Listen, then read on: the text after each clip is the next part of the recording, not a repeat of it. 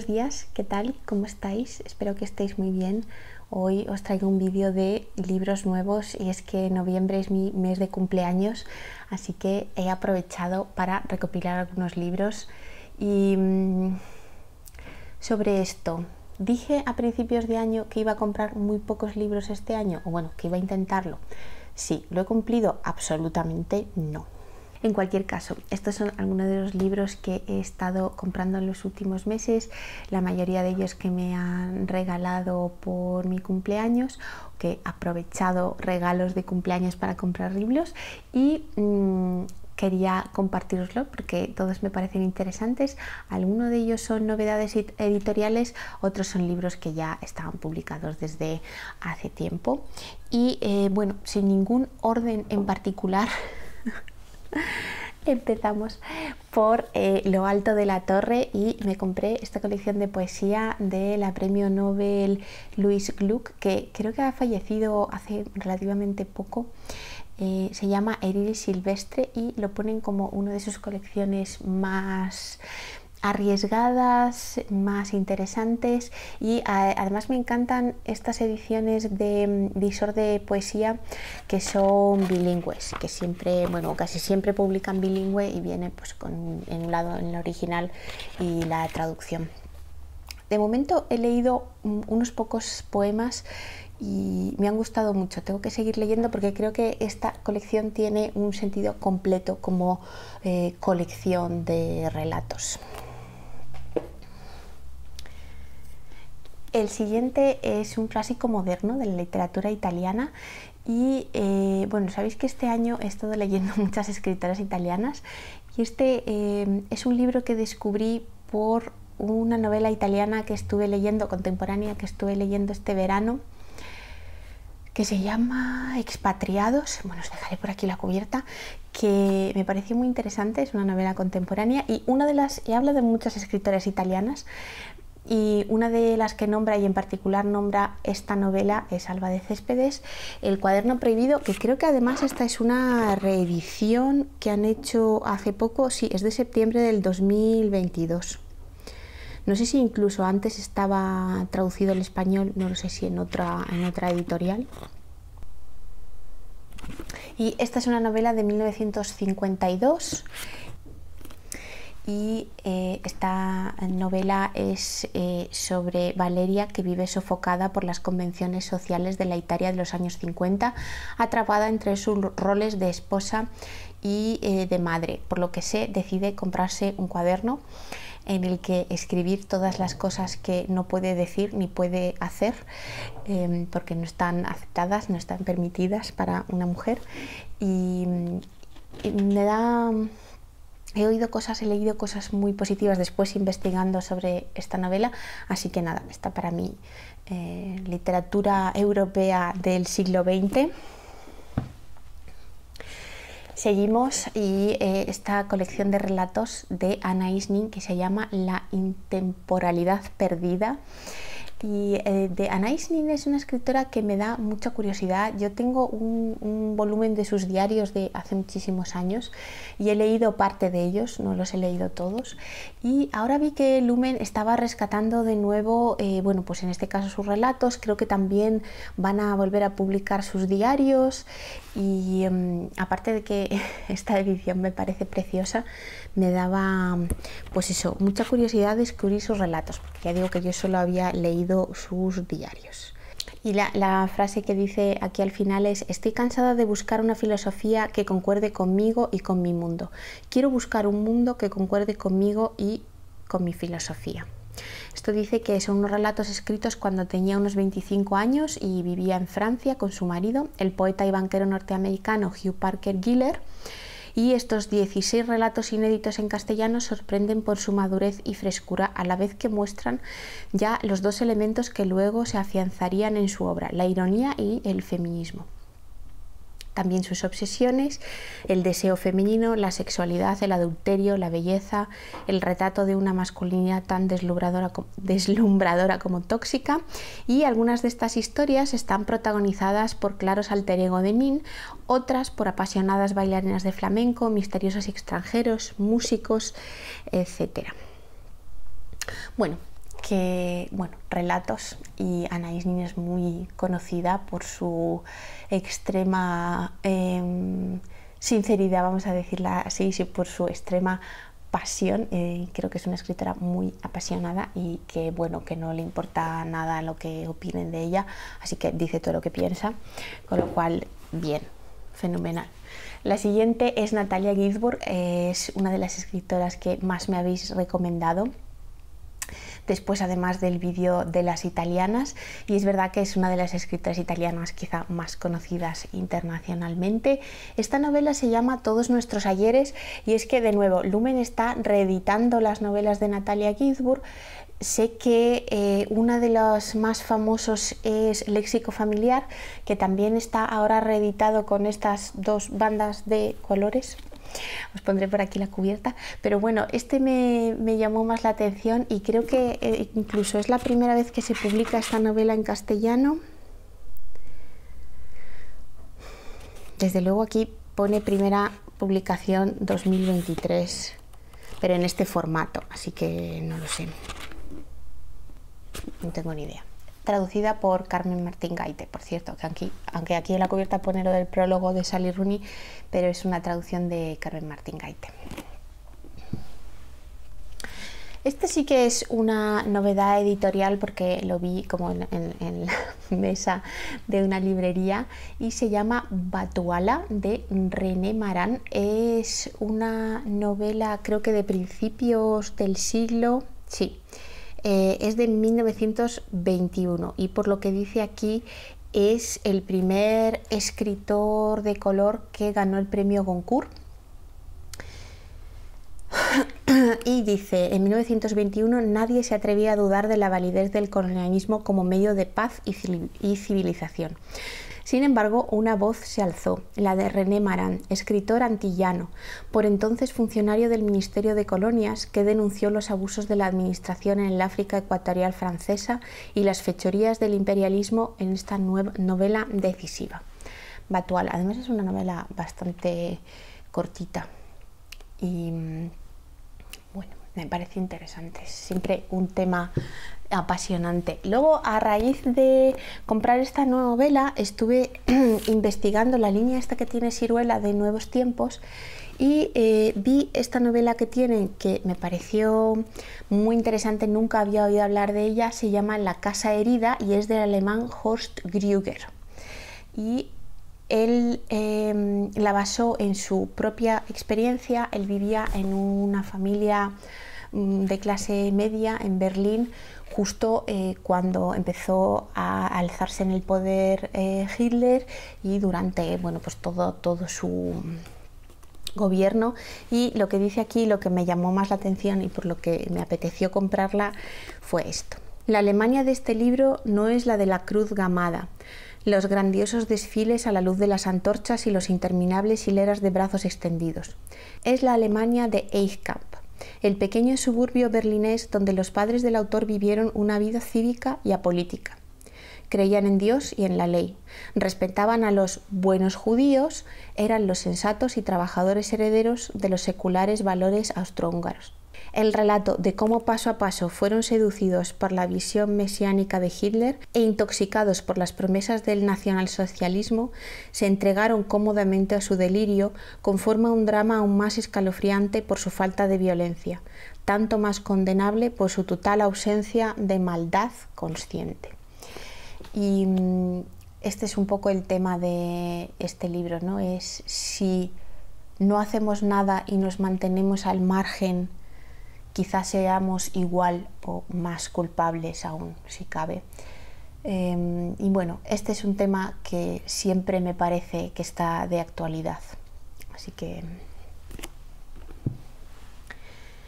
El siguiente también es de esta colección de Ciruela y es de la escritora Vanine, bueno, no sé cómo se pronuncia, Vanine, se llama Los días en el Cáucaso y esta es una escritora que aunque mm, pasó y escribió casi toda su vida en París, nace en el Cáucaso, nace en Bakú en 1905 y efectivamente Banin es su seudónimo y en realidad su nombre es Um El Bano Asadoyeva.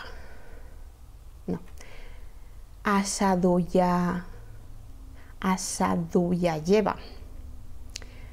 Eh, nace en el seno de una familia privilegiada de Azerbaiyán, en el entonces Imperio ruso, pero se ve obligada a huir del país tras el triunfo de la revolución bolchevique y eh, se muda a París y allí em, trabaja como traductora, periodista, modelo de alta costura.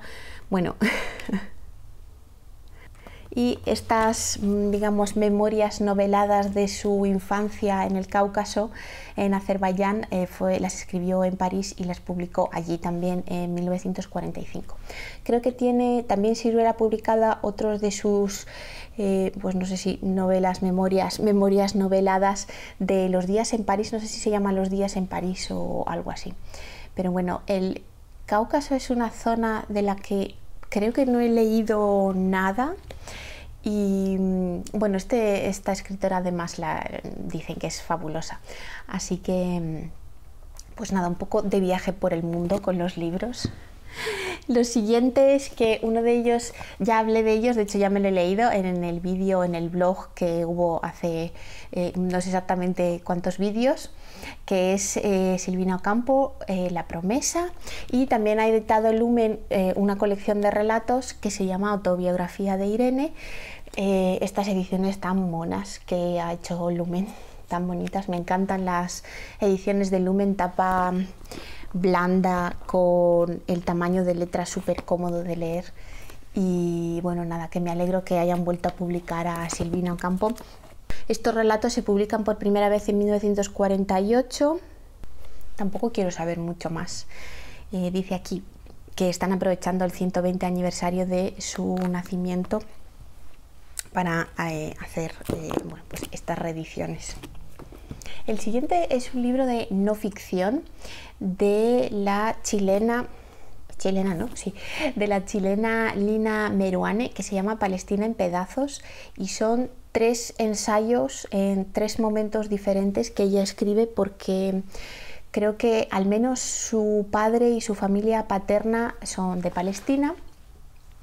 Y aunque creo que ella nunca había ido a Palestina, hace en 2012 un viaje a Beit Hala y en esa ocasión escribe un primer ensayo y eh, años después vuelve a escribir más ensayos sobre, eh, bueno, pues sobre Palestina, sobre sus raíces palestinas y sobre la experiencia de su padre como emigrante. Y eh, Volverse Palestina es de 2013, Volvernos Otros es de 2014 y el último que es de 2019 se llama Rostros en mi rostro. Y eso, son tres ensayos muy personales sobre su experiencia multicultural. El siguiente es un libro bastante gordito. Este lo he comprado por recomendación de mi amiga Maggie de Bitácora de Libros.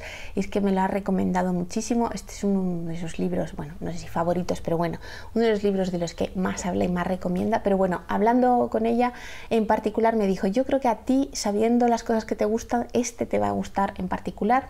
Y es de la mexicana Valeria Luiselli, eh, Desierto Sonoro, en esta preciosa edición de sexto piso que me encanta. Curiosidad, eh, Valeria Luiselli vive y trabaja en Estados Unidos desde hace mucho tiempo. De hecho, este libro lo escribió originalmente en inglés, se publicó en inglés en Estados Unidos y esto es una traducción, aunque es verdad que es una revisión de la autora, pero eh, está traducido por Daniel Saldaña París. Esto me resultó curioso y bueno, en otro momento podemos hablar más sobre las traducciones, los autores que tienen múltiples idiomas y que tienen que elegir y decidir en qué idioma escriben. Eh, un tema muy interesante y ya casi terminamos. Los dos siguientes son dos novelas de la escritora japonesa Hiromi Kawakami, que tenía pendiente leer más cosas de ella porque leí su novela el cielo es azul, la tierra es blanca, no sé qué es exactamente, os lo pondré por aquí. Y también leí una colección de relatos, unos relatos entre lo mm, sobrenatural, lo fantástico, lo realista, sobrenatural, bueno, muy interesante. Siete relatos que además... Mm, van como de menos a más cosas sobrenaturales sobre las relaciones, me gustaron mucho. Y bueno, visto que Acantilado tiene eh, estas dos novelas publicadas, una se llama Manazuru, una historia de amor, siempre por lo que he visto en la narrativa de Kawakami está este tema de las relaciones de pareja ¿no? y las relaciones amorosas, románticas, pero siempre tiene un giro y una perspectiva y una visión que me parece muy interesante, mm, muy moderna por supuesto. Y, bueno, que disfruto mucho también de su estilo. Y lo siguiente se llama Vidas Frágiles, Noches Oscuras, ambas son novelas. Bueno, es que aparte que es que estas ediciones de acantilado me parecen súper bonitas. Y esta es la otra. Y La única pega que tengo que decir con estas ediciones es que tienen el papel un poquito demasiado fino, entonces a veces se transparenta un poquito más de lo que me gustaría. Pero bueno, nada, mis eh, más adquisiciones para mi colección de novelas japonesas. Después compré eh, una novedad también recientemente publicado y este también lo vi yo creo que en una librería y es de una autora contemporánea de Europa del Este. A mí pues tengo debilidad por esa parte. Mm, ella es una escritora de Albania, aunque vive y trabaja en Londres. aunque vive y trabaja en Londres, creo que este es un relato muy autobiográfico y por lo que dice aquí eh, es cuando era una niña con apenas 11 años, Lea Ipi fue testigo del fin del mundo al menos del fin de un mundo. En 1990, el régimen comunista de Albania, el último bastión del estalinismo en Europa, se desplomó. Ella, adoctrinada en la escuela, no entendía por qué se derribaban estatuas de Stalin y de Hoxha, pero con los monumentos cayeron también los secretos y los silencios. Se desvelaron los mecanismos de control de la población, los asesinatos de la policía secreta, bueno, etcétera. No voy a leer nada más, aparte de que Anagrama suele tener unos resúmenes larguísimos que casi te va contando todo. Bueno, em, tiene de subtítulo El desafío de crecer en el fin de la historia y me interesa mucho esa época y em, esa zona del mundo. Luego también compré eh, La hija única de Guadalupe Nettel. Recientemente os hablé de una de sus primeras novelas, El huésped, que leí en octubre y eh, en realidad esta es la novela que más me interesaba de Guadalupe Nettel y nada, esta creo que es una novela sobre todo sobre la maternidad y mm, creo que a través de la relación de dos amigas, no estoy muy segura. Mm, así que nada, aquí queda para la lista de lecturas próximas. Y el último libro que os quería compartir es de un escritor que eh, también tiene mezcla de identidades, múltiples identidades y múltiples idiomas. Y en este caso es Fabio Moravito y Fabio Moravito es italiano, aunque eh, vive y trabaja en México y escribe en español. Este es eh, uno de sus libros, se llama El idioma materno. De hecho, Sexto Piso tiene varios de sus libros publicados y dependiendo qué tal me vaya con este, pues iré a por otros. Son como una especie de mini viñetas o mini relatos en los que eh, nos va contando, pues yo creo que cosas que tienen que ver con su infancia, con la infancia en este caso lo que dice aquí es eh, el idioma materno, un particular viaje en busca de sus raíces como escritor y traza en estas páginas una suerte de personalísima genealogía de su vocación literaria. El resultado es un libro lleno de lucidez, inteligencia. Bueno, algunas cosas que, dicen las contracubiertas me, impresionan, porque si no fuese un, buen libro, eh, ¿por qué lo publicarías? No lo sé. Bueno, el caso es que me leí un par de, me leí un par de relatos y muy interesantes. Ahora esto sobre su vocación literaria y de contar historias desde que era pequeño y también sobre este tema, bueno, del idioma materno y de los idiomas. Y mm, me pareció interesante, como dije antes, un tema de los idiomas, de los multidiomas que me interesa mucho. Y bueno, hasta aquí mis compras literarias, mis novedades literarias y contadme si hay algún libro que hayáis leído o si hay algún libro que os interese especialmente y que también queráis leer. Eh, por supuesto de aquí saldrán muchas de mis próximas lecturas. Y sin más me despido. Como siempre, muchísimas gracias por acompañarme y nos vemos en el próximo. Adiós.